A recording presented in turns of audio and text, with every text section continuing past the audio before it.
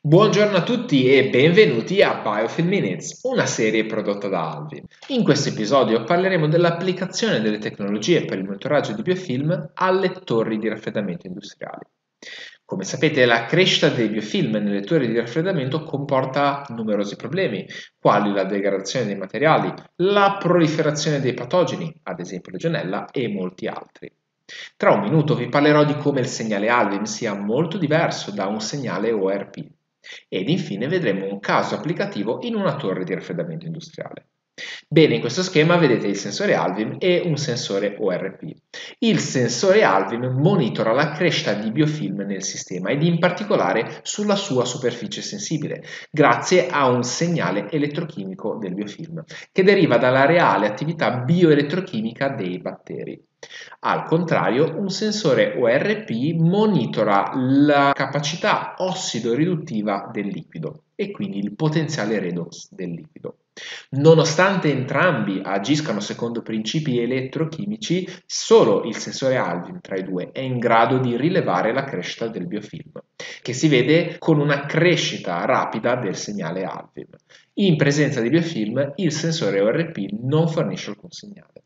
Entrambi i sensori invece rispondono al dosaggio di sostanze ossidanti, come ad esempio il dosaggio di cloro. E questo nel caso del sensore Alvin è molto interessante perché consente di tenere traccia della corretta distribuzione dei sanificanti, ad esempio.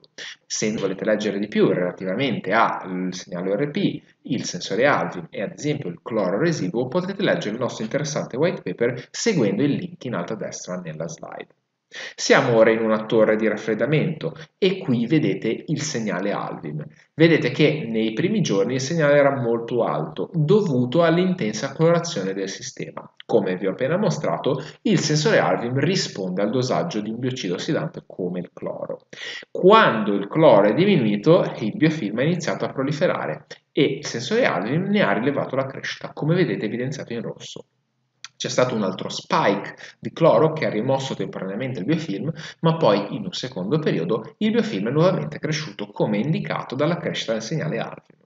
Se facciamo un paragone con la lettura del sensore ORP, indicata sotto in verde, potete vedere che nel periodo iniziale entrambi i segnali erano elevati, dovuti alla presenza di cloro, ma in assenza di cloro il sensore ORP ha fornito un segnale piatto, mentre il segnale Alvin è cresciuto indicando la crescita di biofilm, cosa che in modo analogo è possibile vedere anche nel secondo periodo temporale. Se volete leggere di più relativamente a questo caso applicativo potete seguire il link indicato in alto a destra in questa slide. Inoltre non dimenticate che se avete perso i precedenti episodi di Biofilm Minutes potete sempre trovarli sulla nostra pagina LinkedIn, sul nostro canale YouTube oppure al link qui sotto riportato. Se avete ulteriori interesse, domande o curiosità relative alla tecnologia di monitoraggio di biofilm Alvim, potete visitare il nostro sito oppure contattarci tramite email. Grazie per la vostra attenzione, alla prossima occasione, arrivederci.